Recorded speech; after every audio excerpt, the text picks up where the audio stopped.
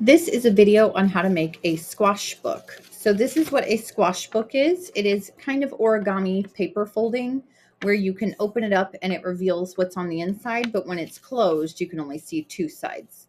So to make the squash book, you need three square pieces of paper. So here are my three square pieces of paper, and we're gonna fold all three of them the exact same way. So let's start with one. Start with your first piece of paper and fold your square in half. So take it from one end, fold it in half to the other end, crease, crease, open it back up, turn it, fold it again. So you're folding it to make a plus sign in the middle. So open it up, and when you're done, you'll have a plus sign in the middle of your square. When you're done with this, this next part is very important. You need to turn your paper over so that it's sticking up off the table. It needs to be like this. So once you have it like this, you're going to press down in the center and we need to now fold it from the back corner to the front corner. So you've turned your paper over and now you're folding it from the back corner to the front corner. You only do this one time. So this is one time fold from corner to corner. Give it a crease, open it up, and turn it over again. Turn it over, poke it in the middle so it now goes this way. See how it's going this way? And when you start to pick it up, it will naturally start to make that folded shape that we need. So I'm going to just push these two parts together. The two triangles I'm going to push together and it's already going to start folding up on you like this. So when you push those two triangles together, just squash the rest of it like that. I'll show you on the next one. I'm going to move just a little bit faster on this one.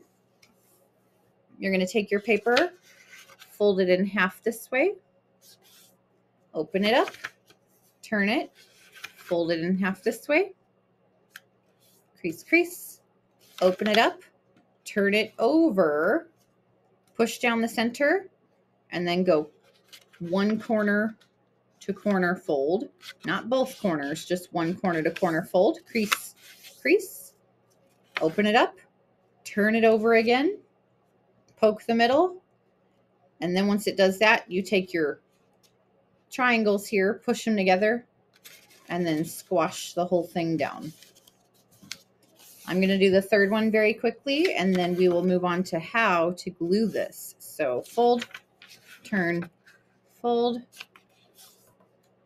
open, flip, poke, corner to corner, crease, crease, open, turn over, poke, and then push your triangles together and squash the whole thing down. So that is how you make the first part where you have three of these. They're all three doing the same thing. So we're going to open them up like this. Don't pull on them too much. We need to see what they're folded like. So I'm just going to open them up a little bit more like this. And what we have to do is join them together where they can all open as one. So we have this one here and we have this one here. What we need to do to your center one is turn your center one backwards. So now we have two facing forward and one facing backwards.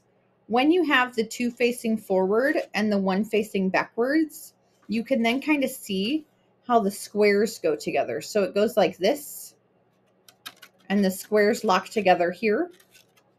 And then it's going to go like this, where the squares lock together here.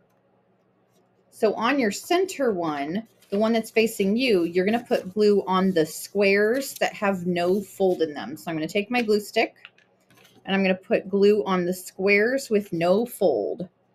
Squares with no fold at all. So that's these two. Squares with no fold. So since this one is pointed that way, that means this one needs to get glued on facing this way to me. So now I'm going to glue this square to this square. I need to push it down, so I got to flatten it a little bit.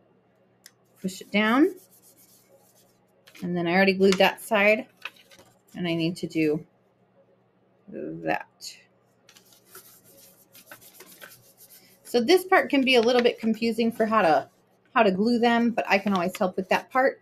But you'll have to work with it a little bit to get it to fold back up the way it's supposed to. But it, remember, if you push your two triangle parts together, your whole thing's going to start to um, fold up. So I'm going to do this one, and then I'll do this one, And then I'm going to fold this one up by pushing my two triangle parts together and squash the whole thing down. So now I'm going to squash, squash, squash, push down, push down. And now I have my squash book. You got to work with it a few times that first time to get it to squash back down. So there we go.